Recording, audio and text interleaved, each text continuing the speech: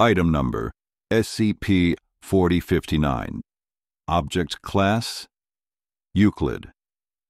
Special Containment Procedures.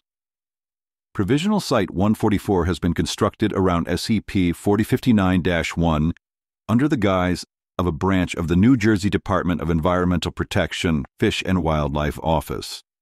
Any civilians attempting to enter the vicinity of SCP 4059 1 are to be turned away due to the area being a protected habitat of a population of Crotalus horridus, or timber rattlesnake. Presently, one instance of SCP 4059 2 is being held in a standard Tight C containment cell at Provisional Site 144. The instance is to be provided with fresh water from SCP 4059 1, replaced monthly, and is to be fed one live pig every three months. Should more instances of SCP 4059 2 be discovered, MTF Nu 5, cabin fever, is to be dispatched to contain the entity. Any person that has witnessed or has been attacked by an instance of SCP 4059 2 is to be administered at Class A amnestics then released. SCP 4059 3 is to be stored in a safe deposit box at Provisional Site 144. Under no circumstances is procedure 4059 Chemosh to be performed. Description SCP 4059 is the collective designation for a series of anomalies centered around the Pinelands National Reserve in New Jersey, USA. SCP 4059 1 is a 30 meter radius circular freshwater reservoir located in the center of a 330 meter radius circular clearing located west of the town of Leeds Point, New Jersey. Directly encircling the reservoir are six abandoned single room cabins estimated to have been built within the last 150 years.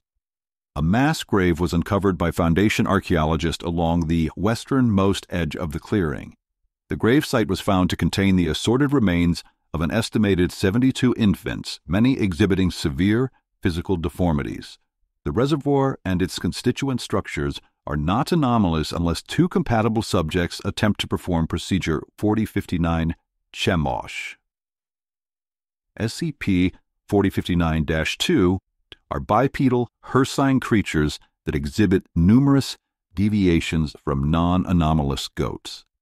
Notably, SCP 4059 2 entities are approximately 2 meters tall on average, with functional chiropteran wings protruding from the shoulder blades anthropoid forelimbs terminating in hooked claws, prominent incisors, vestigial anthropomorphic mammary glands on the chest, and a thin, hairless, forked tail. Like many species of non anomalous goat, instances have a pair of large keratinous horns protruding from the top of their head and have a small, bearded wattle dangling from the base of their chin. SCP 4059 2 are adept predators stalking and incapacitating prey with a bite to the throat. Instances have been reported to be able to move at speeds upwards of 90 kilometers per hour for brief periods of time in the pursuit of prey. SCP 4059 2 typically avoid human contact but can become aggressive when trapped or provoked, and instances have been known to stalk and kill humans. At seemingly random intervals, SCP 4059 2 may return to SCP 4059 1 to drink.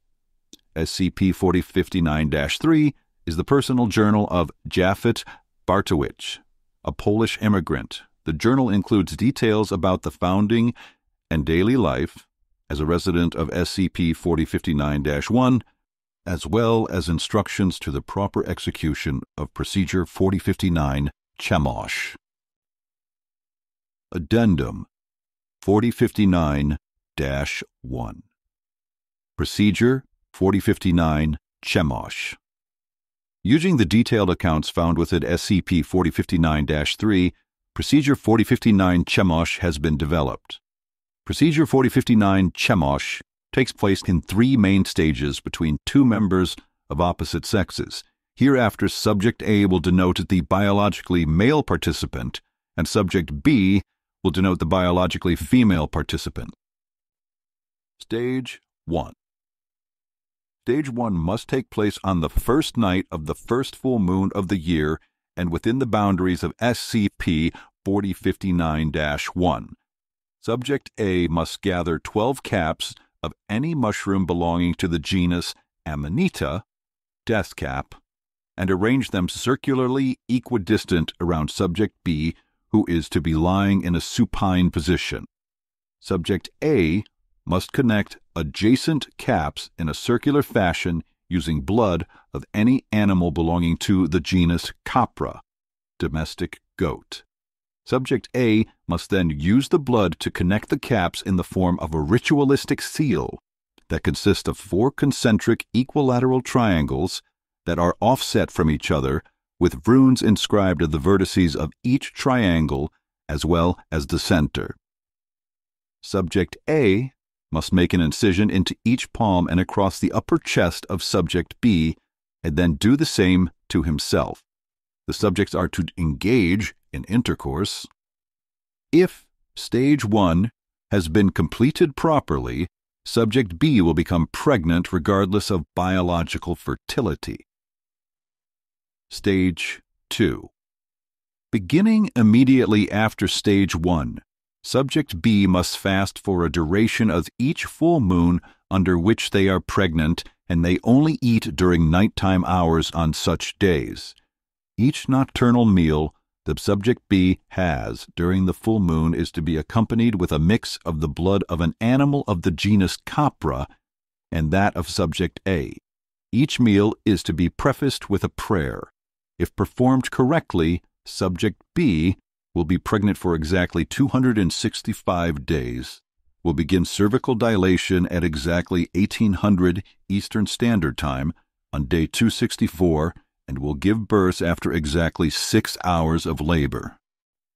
Age 3 When subject B first goes into labor, subject A must stand at the edge of the reservoir at the center of SCP 4059 1 and recite various prayers for three hours.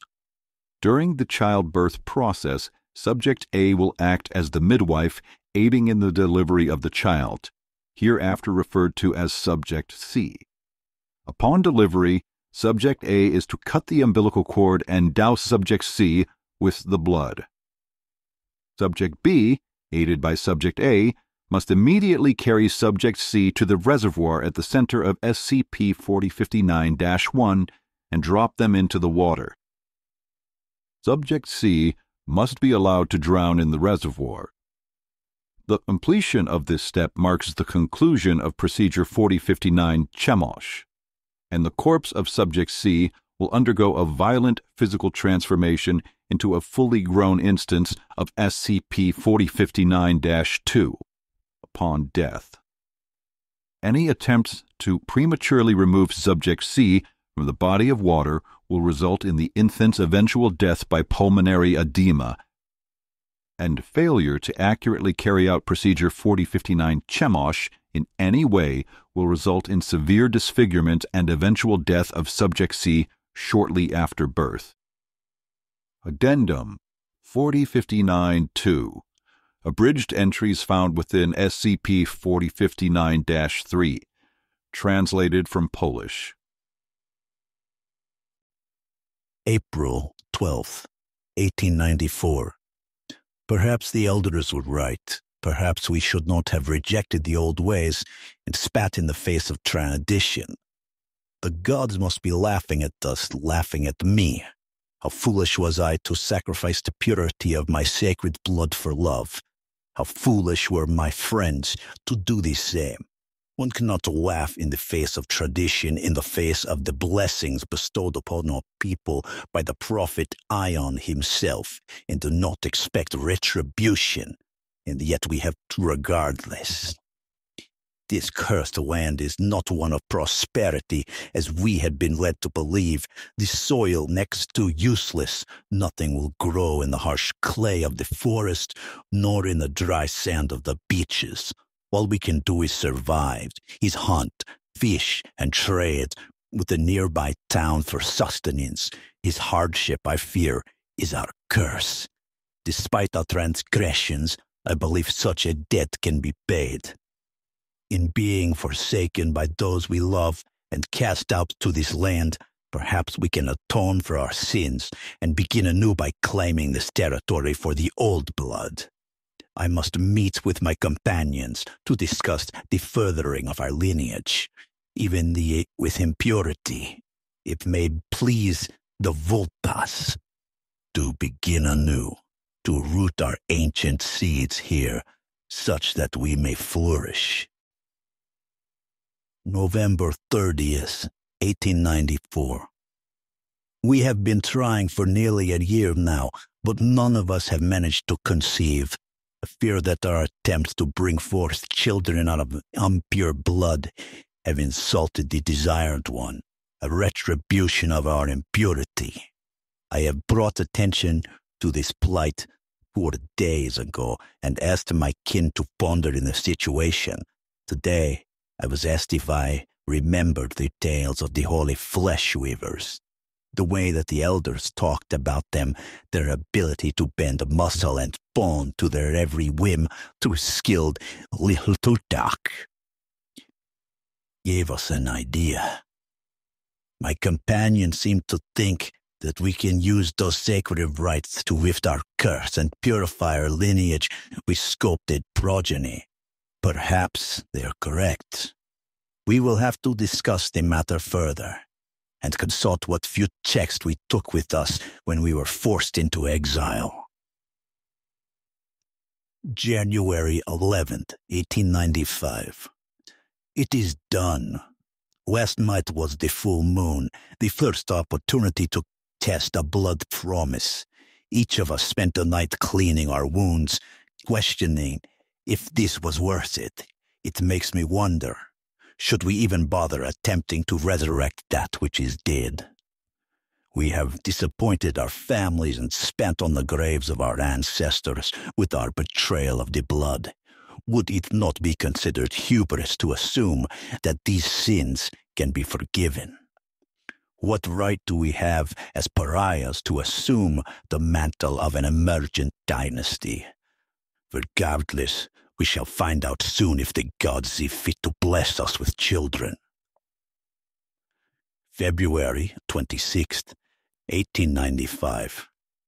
It seems our prayers have been answered and we may offer our heritage to the gods. Despite a plague of barren wombs, all of the women in our coven have swelled with wife after the first implementation of the rites. There are powerful forces at work, and they offer us the chance to carry forth the legacy of our ancestors for years to come. October 3rd, 1895.